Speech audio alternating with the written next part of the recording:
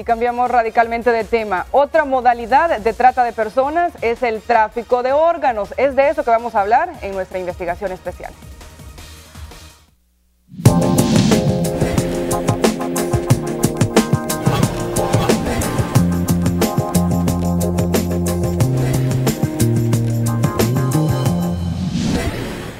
Además de las redes sociales, la policía tiene en la mira varias páginas web desde donde se cometen delitos. También tenemos identificados otros sitios web en los cuales están ofertando servicios sexuales para diferentes tipos de, edades de, hombres.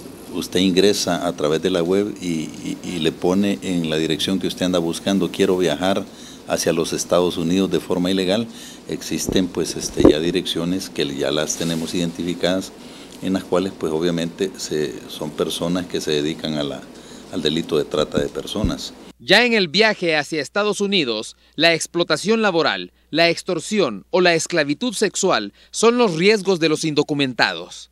Quienes nunca aparecen serían víctimas del tráfico de órganos, otra modalidad de la trata de personas que comienza a investigarse en El Salvador a partir de las denuncias que se han dado este año en otro país centroamericano, Costa Rica.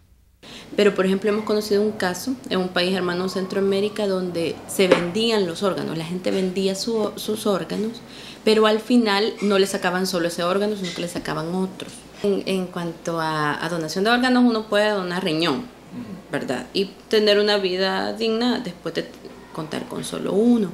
Pero en caso de ellos eh, se les traían córneas también y otros órganos, ¿verdad?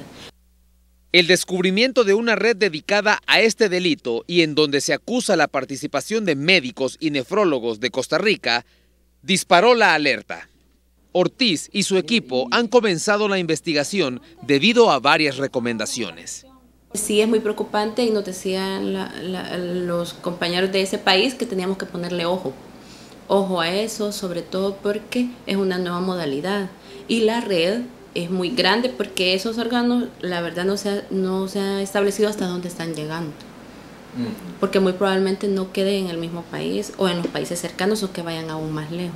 A partir de las desapariciones de jóvenes y niños, las sospechas sobre este tipo de trata de personas aumentan. No se pierda mañana la investigación especial. Ricardo González, TCS Noticias.